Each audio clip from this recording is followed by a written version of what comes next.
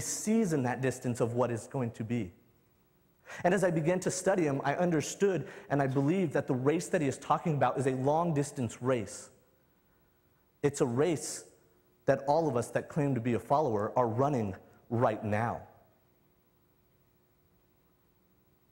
The race is something different for others than it may be for me, than it may be for you. See, originally, sometimes we study Philippians chapter 3 and we think that Paul is actually giving us direction how to become a believer. But we know that's not the case. He's leading us in a path of a race of running through life as a follower of Jesus Christ.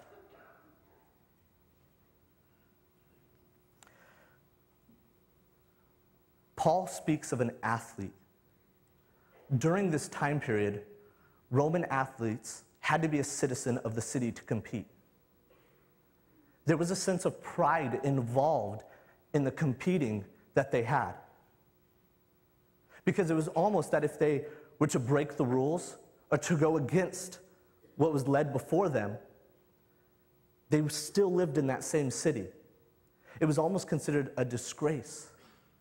So the race that he's referring to is something of a determination. There is a sense of pride in it.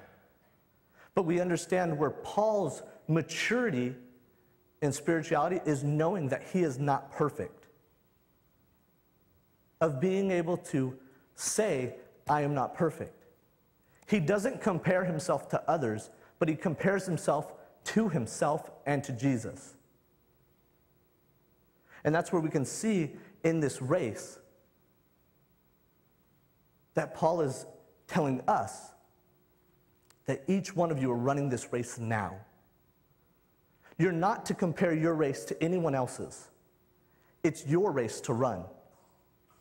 If you are to compare it, you compare it to yourself. And that's why he speaks of his past, his present, and his future.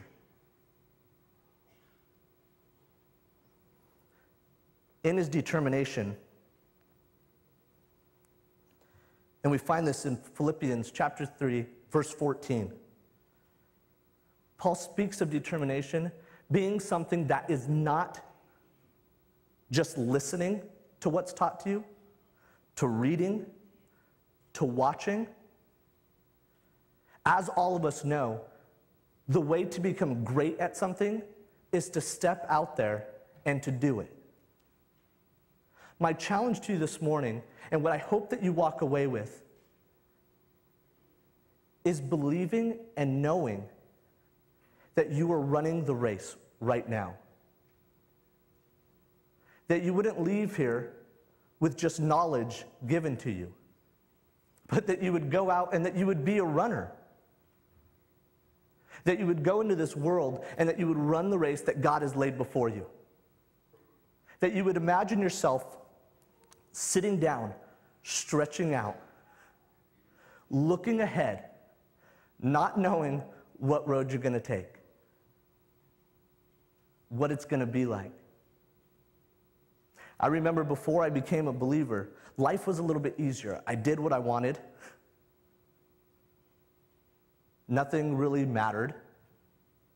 And as I chose to be a follower of Christ, life became a little bit more difficult. There's moments in Scripture that you read things and you're like, no, I don't want to do that. We find ourselves sometimes questioning it. Sometimes I think we take things out of context, or sometimes we rip pages out because it's something we don't want to listen to.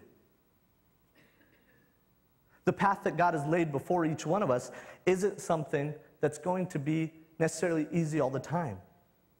You will come across paths that you're running uphill.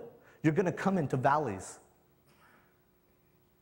You're going to go over rocky surfaces, and sometimes you're going to go over smooth surfaces, and life's going to feel great. But the hope that God leaves us with is knowing that He goes through it with us.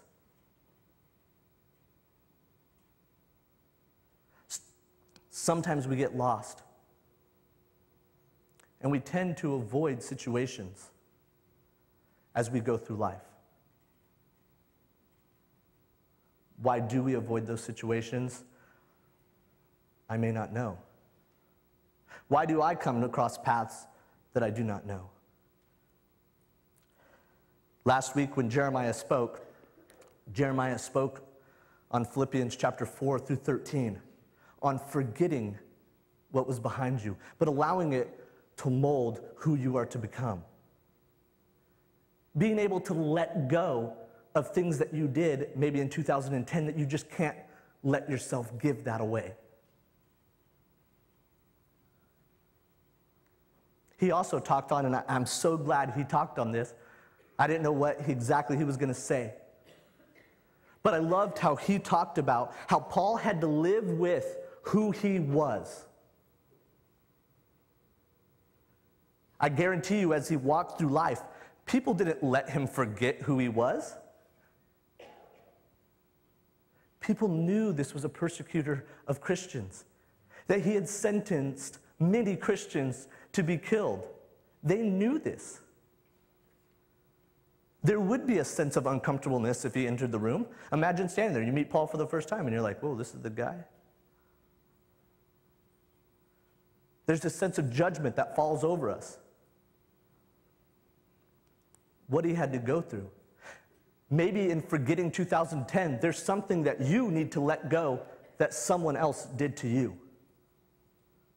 They've come, they've asked for the forgiveness, but you haven't given them that. You haven't let go of that. In verses 14 through the end of Philippians chapter 3, Paul refers to the race we've been talking about this morning. And when he talks about striving forward, it's that, that last bit of energy, everything that you've been training for.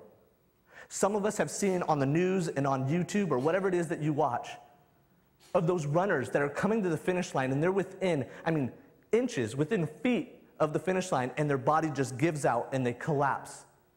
And you watch them crawl across that finish line. That they gave everything that they had to finish that race. And Paul refers to that in striving for that goal, reaching for it to give everything that you have in your race with Jesus Christ. To run that race to the fullest. This morning, I'm not as comedical as I would be normally. Because in understanding and studying Paul, I believe this is what he wrote. He didn't put flowers and daisies around it and say, everything's going to be great. No, he came forth and he said, This is what you must do.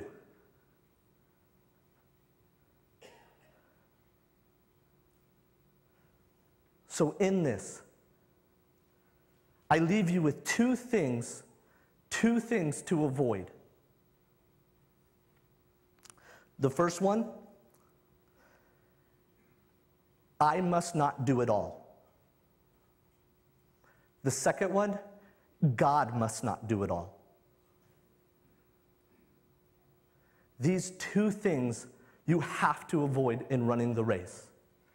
I must do it all because, because then it becomes about you. And you leave God completely out of it. The second one, God must do it all.